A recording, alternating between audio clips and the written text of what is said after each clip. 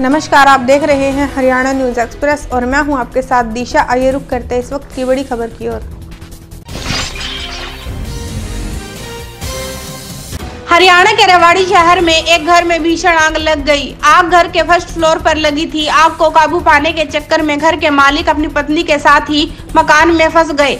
हालाँकि आग की लपटें तेज़ी से फैलने के बाद जब पड़ोसियों को पता चला तो पति पत्नी को बाहर निकाला गया। सूचना के बाद दमकल की दो गाड़ियाँ मौके पर पहुँची। इसके बाद आग को बुझाने का काम शुरू किया गया। करीब आधे घंटे की मशक्कत के बाद आग पर काबू पा लिया गया। दरअसल मोहल्ला खासापुरा निवासी अशोक कुमार अपनी पत्नी सुदेश देवी के साथ घर पर ही मौजूद थे।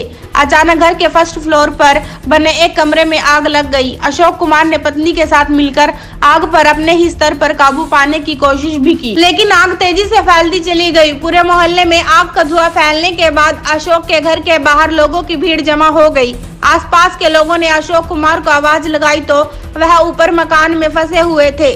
किसी तरह कुछ लोग घर के अंदर घुसे और दोनों को बाहर निकाला गया। साथ ही इसकी सूचना दमकल विभाग को दी गई सूचना के बाद दमकल विभाग की गाड़ियाँ मौके पर पहुँची और काफ़ी मशक्कत के बाद आग पर काबू पाया गया।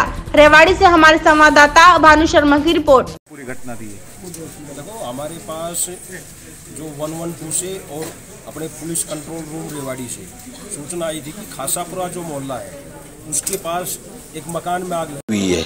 तो हम जैसे जगन गेट चौकी होके यहाँ से आए तो गली तो ठीक है, काफ़ी चौड़ी है, लेकिन तारें वगैरह जो थी, वो नीची थी तो हमने उसी टाइम ना जैसे एक गाड़ी का टर्नआउट निकाल दिया था।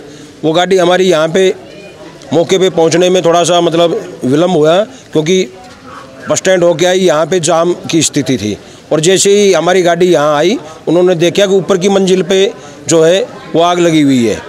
तो हमने यहाँ से पानी मारने, इतनी देर में हम, जैसे दूसरा टर्न आउट हमने, क्योंकि घर में आग लगी हुई थी तो हमने सोचा भाई कभी आसपास जो है, वो काफ़ी रिस्की एरिया होता है, कभी दूसरे घर में न लाए। हमने एक साथ दो गाड़ियों का टर्न आउट निकाल दिया था। तो यहाँ हम आगे, अब ऊपर की जो मंजिल है, उसमें घरेलू सामान था, और उसकी जो छत है, वो गाटर पटाव की बनी हुई है। तो उसकी वजह से अब जो पटाव है, ये पत्थर होता है, और इन पे जब आग से गर्म होता है और जैसे पानी लगता है तो ये चटक जाते हैं। तो ऊपर हम मतलब जो पटाव के टुकड़े थे वो भी जैसे टूट गिरने लग रहे थे। लेकिन फिर भी हमने जैसे साहस से काम करते हुए और अंदर अब जो आग है वो बिल्कुल कंट्रोल में है। आगजनी का कारण क्या? आगजनी का कारण तो देखो ऐसे है या तो कोई शॉर्ट सर्किट होगा। अभी तो हम कुछ नहीं कह सकते कि भाई आग लगने का कारण क्या है। लेकिन घर है इसमें कोई ऐसा तो वो है नहीं भाई किसी तरह के केमिकल का प्रयोग किया जाए। किचन है वो किचन अलग है किचन में भी आग नहीं लगी है।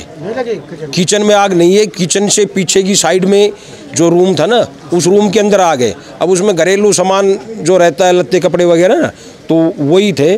तो उनमें किस वजह से आग लगी है वो तो अभी जाँच का विषय हम देख के बताएँगे लेकिन अब जो है वो आग पूर्णतः कंट्रोल में है।